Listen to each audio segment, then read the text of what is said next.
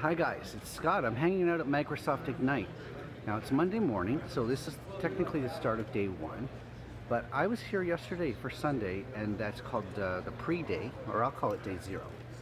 So yesterday was actually pretty fun. I've never been to a Microsoft conference that's this big before. I've been to Microsoft events in Canada, but this is like a worldwide conference in uh, Orlando. The place, Orlando, uh, Orange County Convention Center, huge.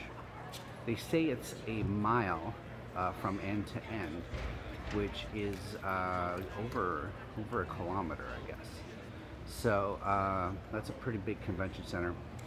Um, yesterday I learned all about containers, so I was doing um, uh, had practical ex explanations and, and hands-on walkthroughs of uh, Kubernetes, of uh, web apps for containers, and and service mesh, service fabric mesh.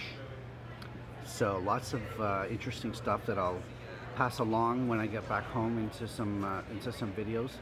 Um, what I learned, interesting thing I learned was that some of this platform as a service stuff that Microsoft's doing in the, the um, container space, um, I always thought it was more of a development use or a testing use that in production people would, would just go right to uh, Kubernetes but um, actually Microsoft is planning for people to use containers as a service, uh, platform as a service types of containers in production and they're pretty proud of that so uh, that was a big learning from yesterday.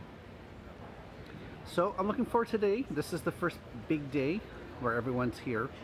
Uh, I'm going to meet the Cloud Guru people hopefully. I wonder if they're in town yet, but we'll figure that out. And um, yeah, I just picked up the information for the new certification stuff and so I'm going to be digesting that and I'll pass that along. So take care guys